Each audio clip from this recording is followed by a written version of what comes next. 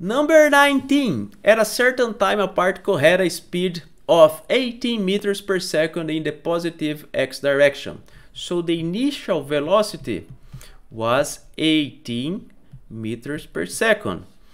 And 2.4 seconds later, its speed was 30 meters per second in the opposite direction. So the final velocity would be 30 meters per second. However, it is in the opposite direction, which is minus 30 meters per second. And the time between the, the initial velocity and the final velocity is just the delta t, which is 2.4 seconds.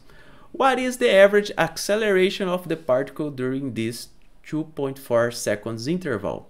So if we want to calculate the average acceleration, we just have to do delta v over delta t. Delta V is just the final V minus the initial V.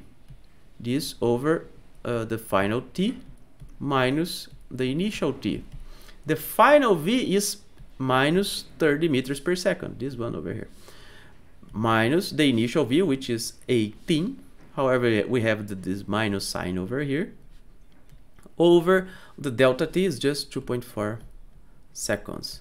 This will be minus 48 over 2.4, which equals to minus 20, uh, 20 meters per second square. So this is the average acceleration of the particle. This is the answer of this exercise.